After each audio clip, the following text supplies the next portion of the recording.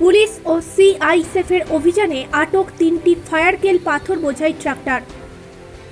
আসানসোলের কুলটি থানার অন্তর্গত বিসিএল এর দামাগড়িয়া কয়লা খনি সংলগ্ন বরিরা এলাকা থেকে সিআইএসএফের ও চৌরঙ্গি ফাঁড়ির পুলিশ যৌথ অভিযান চালিয়ে তিনটি ফায়ারকেল পাথর বোঝাই ট্রাক্টর আটক করে বলে খবর।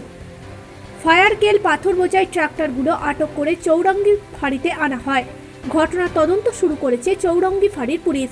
খবর সূত্রে জানা যায়, ট্রাক্টরগুলোতে থাকা ফায়ার কেলের পাথরের কোনো বৈধ কাগজপত্র মেলেনি, তবে এই ঘটনায় কেউ আটক হয়নি।